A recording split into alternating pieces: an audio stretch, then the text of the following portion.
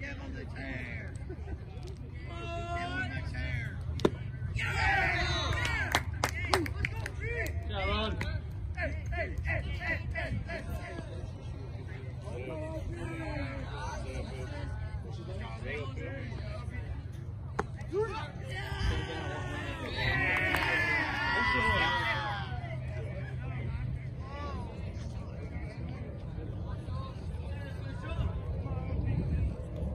Go, one more kid.